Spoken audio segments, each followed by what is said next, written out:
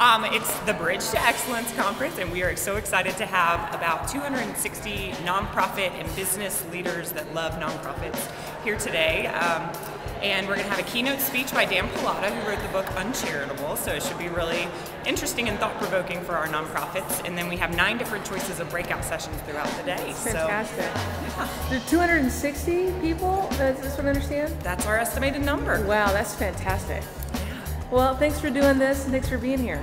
Thank you. We're so excited.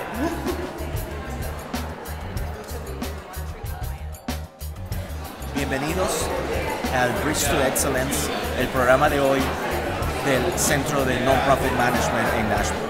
Gracias. Uh, inspiring, encouraging, uh, and it's also a different way of looking at what we do here in the nonprofit sector.